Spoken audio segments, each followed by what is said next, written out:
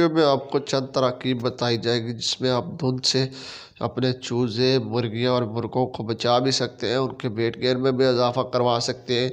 और आप लोग जो है, वो अपनी मुर्गियों का, अंडों की प्रोडक्शन भी आप लोग बढ़ा सकते हैं और वज़न जो है, सर्दी से भी बचा सकते हैं।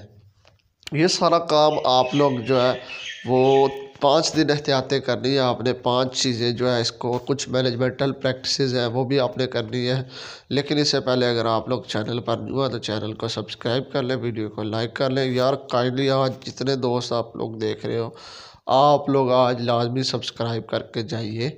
और वीडियो को लाइक यार कर दीजिएगा लाइक फ्री होता है। अच्छा मैं आपको पहला ये मसला बताऊँगा साथ में कि सांस का मसला भी आ रहा तो तब भी ये चीज़ है। आपको सौ से ज़्यादा बीमारियाँ anti bacterial anti viral anti fungal feed का प्रॉब्लम है, सांस में मसला है, ठीक है? चूज़ा आपका ठंड महसूस करता है, चूज़ा आपका बिल्कुल इकट्ठा होकर बैठ जाता है, चूज़ा मुर्गियाँ आपकी प्रोडक्शन कम कर गई है, उनको ठंड महसूस करती है। तो ये ऐसा देसी नुस्खा आपको बताने जा रहा हूँ, जो आज तक यूट्यूब पर किसी ने नहीं बताया। आप लोगों ने लेनी है, सबसे पहले एक इलायची, मोटी इलायची जो है, बड़ी वाली। साथ में आप लोगों ने दालचीनी लेनी है। दालचीनी लेने के बाद अगर आप इसको ग्रैंड करते हैं, तब भी ठीक है, नहीं तो एक बड़ी दालचीनी आप एक पीस ले लेंगे। दालचीनी के साथ आप लोगों ने इसमें डालना एक चम्मच अजवाइन।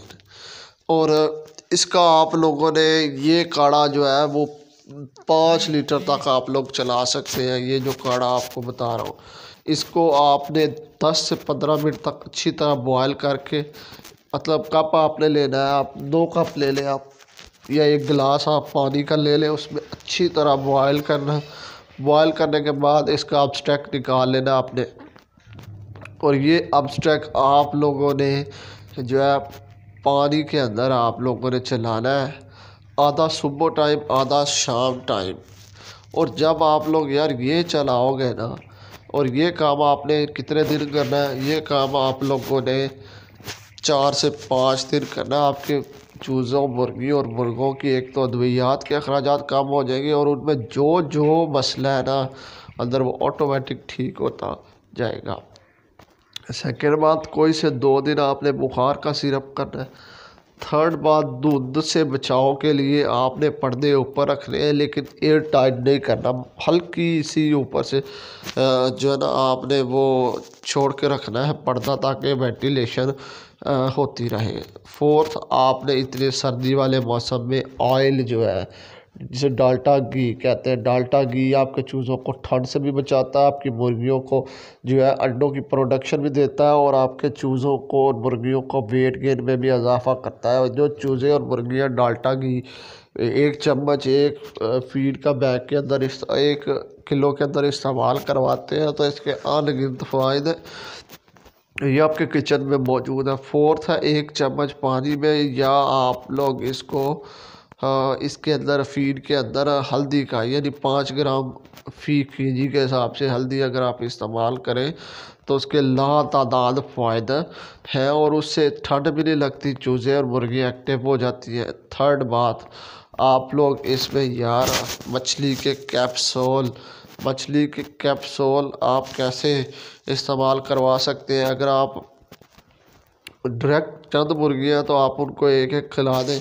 अगर नहीं तो उस मुर्गियों के हिसाब से आप अपने कैप्सूल ले लें। ठीक है, सस्ते मिल जाते हैं, एक डेढ़ रुपए का एक मिल जाता है।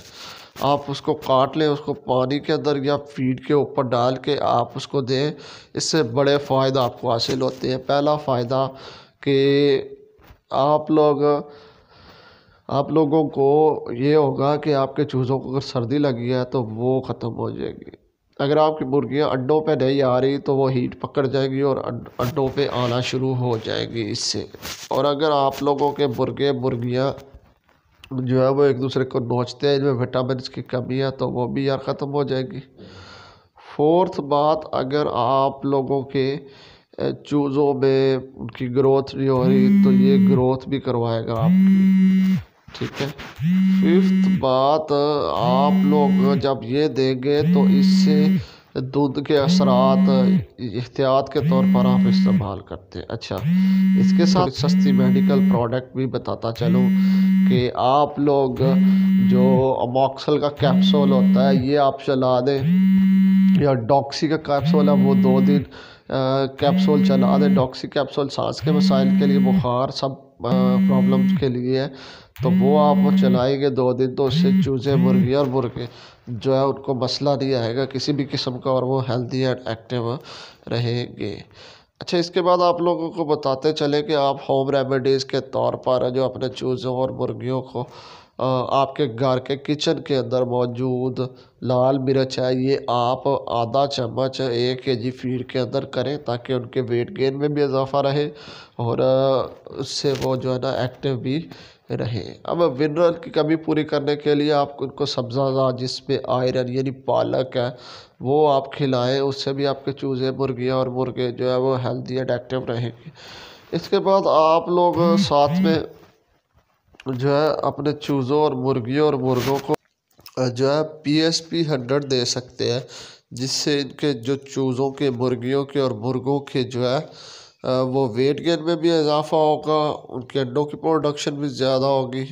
आप इन्हें वाइटासॉल सुपर दे सकते हैं, जिससे इनके विटामिन पूरे हो जाएँगे और इनकी ग्रोथ भी बहुत अच्छी होगी, वो भी पाँच ग्राम फ़ी जो आपके पास लीटर है, पाँच लीटर है, उसमें आपने इस्तेमाल करनी है। इसके बाद आप लोगों को बताते चले कि फ़ीड एडिटिव एक ऐसा प्रोडक्ट है, जिसके आपके चूज़ों और मुर्गियों और मुर्गों की अंडों की प्रोडक्शन भी अच्छी रहेगी, उनका कैल्शियम भी पूरा रहेगा और उनके वेट गेन में भी इजाफा होगा। साथ साथ आप लोगों को बताते चले, अगर आप लोग अपने चूज़ों, मुर्गियों और मुर्गों को ग्रिड देने के आदि हैं ग्रिड देने से भी आपके चूज़ों मुर्गी और मुर्गों बहुत एक्टिव रहते हैं। अगर आपके चूज़े और मुर्गी, मुर्गे का जो है वो पोट में मसला आ रहा है मतलब उनका पोट बंद हो रहा है तो आप ऐसा प्रोडक्ट सस्ता तरीन सेब का, सिरका, यानी एप्पल साइड वेनिगर आप बारह ग्राम फ़ी लीटर के हिसाब से चलाएँ तो उससे फ्लशिंग भी हो जाएगी और साथ साथ आपके चूज़े और मुर्गों को वेट गेन भी हो जाएगा। आप दो हफ्तों में, हफ्तों बाद लाजमी ये रिपीट कर लिया करिए, कम अज़ कम एक महीने में दो दिन से तीन दिन तक आप चला दें। इससे भी आपके चूज़े मुर्गियाँ और मुर्गे एक्टिव हो जाते हैं और सर्दी से जब उनके अंदर आंतों में प्रॉब्लम नहीं होगी, अंदर इन्फेक्शन नहीं होंगे तो वो उससे ज़्यादा एक्टिव रहेंगे। साथ साथ आपको बताते चले कि अगर चूज़ा मुर्गी और मुर्गा छींक वगैरह मारता है तो उसको एलर्जिक सिरप या अलार्मन सिरप आपको मार्केट में चालीस से पचास रुपए में बड़ी पैकिंग पाँच सौ मिलीग्राम की मिल जाएगी। चलाए, बहुत अच्छे रिज़ल्ट हैं। और साथ आपको बताते चले कि फ़ीड एडिटिव अगर आप लोग अपने चूज़ों मुर्गियों और या कैल्शियम पी आप लोग इस्तेमाल करवाना चाहते हैं तो कैल्शियम पी से आपके चूज़ों मुर्गियों और मुर्गों में इतने फ़ायदे हासिल होते हैं कि उनकी जो है वो हड्डियाँ मज़बूत हो जाती हैं। अगर चूज़े मुर्गियाँ और मुर्गे रखे हैं, अगर अंडे देने वाली मुर्गी है तो उसको, उसका अंडा जो है वो मज़बूत हो जाता है। और अगर अंडे में आपके साइजिंग का मसला आ रहा है, फिर भी कैल्शियम चलाएँ। अगर अंडा आपका बारीक आ रहा है तो फिर भी आप इसमें कैल्शियम चलाएँ। अगर आपके अंडों के अंदर प्रोडक्शन में इजाफा नहीं हो रहा तो फिर भी कैल्शियम पिए आप चलाएँ। तो कैसी लगी वीडियो? चैनल को सब्सक्राइब करें